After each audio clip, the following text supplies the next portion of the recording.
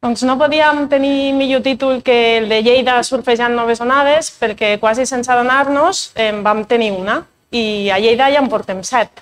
Totes han set eh, diferents, complexes, algunes més fàcils, altres més difícils, però l'onada de l'estiu 2020 va golpejar amb força la, el nostre territori eh, i especialment les comarques del Baix Segrià. Pels qui no coneixeu la zona, a l'estiu, Lleida acull un gran nombre de persones que es desplacen a treballar per la campanya de la fruita. La campanya sol començar pel, pels municipis del Baix Segrià i progressivament es desplaça cap a Lleida ciutat, cap a Rural Nord i Rural Sud, cap a la Noguera i el Pla d'Urgell. Si ens situem a casa nostra, eh, nosaltres representem el Centre d'Atenció Primària d'Alcarràs, que engloba els municipis d'Alcarràs, de Torres de Segre i de Sosis. A l'estiu, i quan ens arriba tot aquest volum de persones que es desplacen per treballar la fruita, l'atenció sanitària al centre es pot arribar a duplicar. Cap al juny del 2020, que és el que nosaltres us venim a explicar, just ens trobàvem en aquella fase de desescalada per fases de la primera onada de la Covid i de cop, eh, quan tot semblava que podíem començar a recuperar la mobilitat, doncs a les Terres de Lleida va començar una onada que ens marcaria per sempre. És difícil explicar-vos en paraules tot el que vam viure en aquella època. Ho intentarem de la millor manera que ho puguem transmetre, tot comença cap a mitjans del juny del 2020. Estàvem deixant enrere aquesta primera onada i tota aquella por, aquella incertesa, aquella angoixa, semblava que estava donant pas a una mica de veure la llum. Però la veritat és que aquesta alegria ens va durar poquet.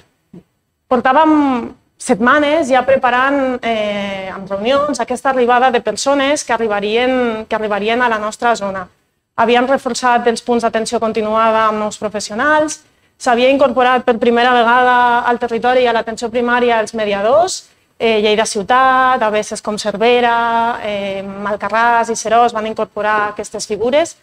S'havien fet reunions amb ajuntaments per tal de tenir espais eh, preparats d'aïllament per a aquelles persones que preveiem que no podrien realitzar un aïllament de manera correcta al domicili.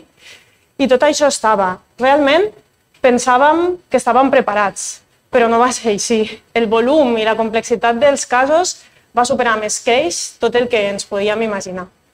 I no ens va quedar una altra. Al final el que vam fer és reorganitzar-nos. Per posar-vos una mica en, en, en tessitura i que entengueu, nosaltres som un, un cap rural que consta de dues plantes eh, quan vam començar amb aquest volum, que ja estem parlant ja de juny, la nostra planta baixa es va convertir en una planta d'atenció Covid. Érem tres equips de professionals, medicina, infermeria, amb l'administratiu sanitari, les TCAs, el personal de neteja, que ens dedicàvem única i exclusivament a fer això.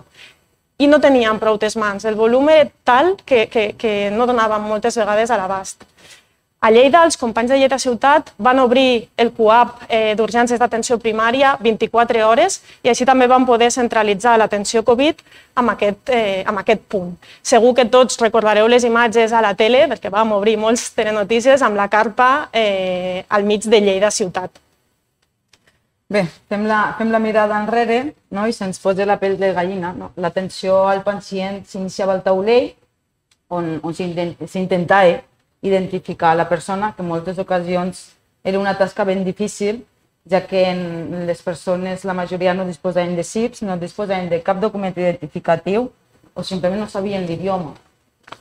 Bé, un cop feta la, la valoració sanitària, en la majoria de casos s'havia de fer una valoració del domicili per conèixer amb qui vivia aquesta persona i conèixer els seus contactes.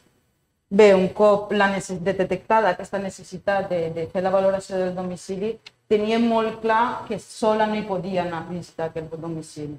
I ens coordinàvem amb personal del SOC, com a policia local, o alguna companya que, que també en aquell moment m'acompanyava. Bé, era, a vegades era tot un misteri descobrir on aquesta persona vivia, ja que mm, adreces incorrectes o inexistents o simplement la persona no era capaç d'explicar-te amb quina casa o amb quin carrer o amb quin poble vivia, no? dels que cobríem nosaltres. Iniciàvem tota una investigació preguntant als centres dels ajuntaments, preguntant veïnatges, preguntant mm, a, la, a, la, a la policia local. Bé, al final un cop aconseguíem, anàvem al domicili i preguntàvem pels contactes d'aquestes persones. Fem la recollida de, de les dades i fem tot escrit a mà, perquè en aquell moment no disposàvem d'accés a tots els programes i fem tot a mà. I recollíem tota la informació que pensàvem o consideràvem que ens pogués ser útil quan arribàvem al centre pels professionals sanitaris. Telèfon mòbil, el parentiu, passaport, DNI, ni el que sigui, tot. Ens interessava tot, telèfon mòbil, tot. Bé, un cop fèiem aquesta recollida de dades, amb el permís de la persona, eh, entrarem al domicili per veure les condicions, perquè òbviament els protocols marcai, l'aïllament s'havia de dur a terme en una habitació, disposar d'un quarto de bany per, per tu, i efectivament en la majoria de casos mmm, no, les condicions de les vivendes eren pèssimes. Gent dormint al, al terra, amb matalassos, no hi havia ventilació, vivint 15, 20 persones amb llocs molt reduïts i tornàvem a activar altres coordinacions amb altres persones. Teníem, disposàvem d'uns dels allotjaments que, com es va, ens va comentar la Núria, que els tenim a disposició per a aquests casos, la, eren la majoria. Em posava en contacte amb la persona responsable d'aquests allotjaments, comprovar si hi havia lloc per a aquestes persones, per, les, per la o les persones contagiades i pels seus contactes. Un cop efectivament comprovàvem que aquestes persones hi podien anar cap allí, ens tornàvem a una altra dificultat i era si la persona podia traslladar-se traslladar fins al fins a l'allotjament o no. La majoria de casos no es podia traslladar efectivament i hauríem, havíem d'activar altres coordinacions per trucar a tots els serveis que teníem en aquells moments a disposició per portar aquestes persones a l'allotjament. Destacar que en moltes ocasions en trobàvem que les persones, eh, a l'inici potser no tant, però a mesura que es van a conèixer les situacions, tenien molta por a, a acceptar l'enfermetat o, o, o tenien molta por a, a explicar-te on vivien, no? Per, per no, per no quedar-se sense feina, perquè al final ells estaven aquí per, per treballar i per, per mantenir la seva família.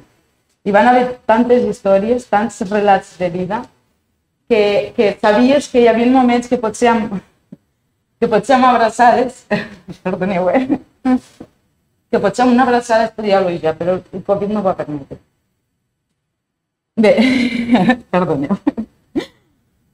Bé, mm, donaves durant la, aquesta onada et donaves compte que, que la necessitat, l'amor i la família ja ho sabem que ens fa moure muntanyes, però vam descobrir realment que hi havia persones que estaven disposades a viure en condicions inhumanes per poder tenir i pugui mantenir aquella família que estava en una altra terra i lluny d'ells.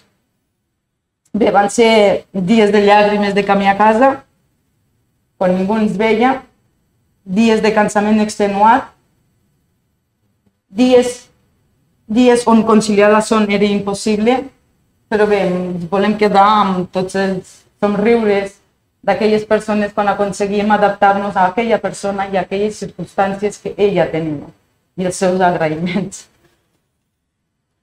A més, a més de tot aquest gran volum de visites i de tota aquesta feina de camp que ens ha explicat la Mijaela, cal afegir totes aquelles trucades de seguiment de l'agenda coronavirus que teníem, tant dels pacients que estàvem visitant com d'aquelles llistes interminables de contactes i de positius que ens arribaven a diari. El volum era tan gran que companys d'altres territoris es connectaven remotament a les nostres agendes per tal d'ajudar-nos. En nom de tots els professionals de l'atenció primària de Lleida, us volem donar les gràcies. Gràcies a tots els companys de l'Alt Pirineu, de la Catalunya Central, de Girona, de Barcelona, de les metropolitanes nord i sud, de Tarragona i de Terres de l'Ebre. Gràcies de tot cor, perquè realment en aquells moments no us imagineu el suport que ens vau donar. Hi ha altres històries, d'altra banda, us podríem explicar totes les problemàtiques que vam tenir amb les baixes laborals. No, no ens allargarem massa, crec que tots en sou coneixedors, però només destacar-vos que eren persones, com diu la Micaela, que venien sense CIP o amb un CIP provisional, en el que no sabien en quina empresa treballaven ni tan sols quin era el seu número de seguretat social. Per tant, tot això volcava una feina administrativa ingent a, als equips. I a més a més, en aquell moment no es podien descarregar la meva salut, ni tan sols tenien correu electrònic. Per tant, el volum era eh, enorme. A més a més, en aquest moment no, no teníem una, un diagnòstic ràpid, no teníem els tests antigènics a, al nostre abast, per tant eren tot PCR si teníem una sospita i en els millors dels casos t'arribàvem quatre dies, per tant implicava que el, la sospita, la persona sospita de Covid i tots els seus contactes estessin aïllats. Ahir hi ha persones que venen a treballar, és molt complicat aquesta logística. Tot això, tot aquest treball de camp ens va fer adonar que ens faltava alguna cosa més. Teníem l'equip, l'equip sanitari, teníem els mediadors que havíem incorporat, però necessitàvem treball de camp, necessitàvem alguna més que ens ajudés a gestionar tots aquests contactes que ens ho estàvem fent nosaltres. I d'aquí va sorgir la idea de proposar el gesto Covid, que posteriorment es va poder incorporar a la resta de territoris cap a finals de, de juliol. Realment vam ser titular a, a la premsa, a la ràdio, se començaven els telenotícies doncs, per Lleida i, i per Alcarràs, vam ser l'epicentre de, de la segona onada. Però realment ho vam sostenir i, i ho vam poder tirar endavant. I nosaltres pensem que la clau, i, i, i sí, la clau ha, ha estat una, no? i és que tots, tots els professionals del, de l'equip, medicina, infermeria, pediatria, els administratius sanitaris, les tecais, les mediadores, el personal de neteja, les llevadores, tots, tots tenien una tasca i una funció i aquesta era imprescindible perquè la següent peça encaixés i d'aquesta manera l'engranatge funcionava. Tots vam arribar a ser un i aquesta creiem que va ser la nostra gran victòria. Bueno, I de cop arribem a, setembre sense quasi ni haver pogut respirar, no? van, anar, van anar succeint noves donades a, no? de manera més global a tot el territori. Quan ens donem compte, tornem a estar a les portes de la campanya La Fruita.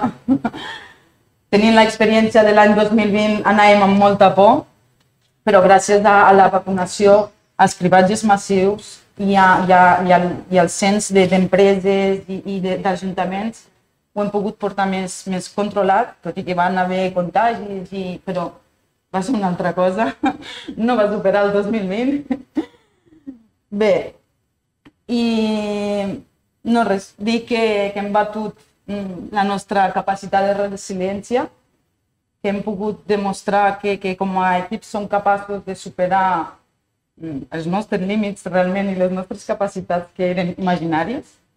I amb la onada del 2020 ho vam comprovar, que aquests límits eren imaginaris. I que sentim un orgull immens de formar part de, de l'atenció primària. Volem reafirmar que cal cuidar-la perquè el seu valor és incalculable. Ahir el que hem viscut i no serà fàcil, eh, l'impacte emocional i físic d'aquella onada no l'oblidarem mai, però ens quedem amb l'esforç, amb la unió, amb la entrega humana i amb la professionalitat del nostre equip, que malgrat estar fosos, ho vam donar tot per seguir endavant. I ho vam fer junts, i això ho recordarem sempre.